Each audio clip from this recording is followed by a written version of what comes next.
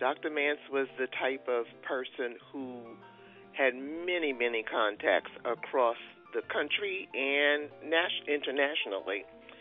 So, uh, Ann Lowe and Dr. Mance seem to have um, known each other for a number of years, and that's prior to my even becoming uh, uh, aware of her and meeting her.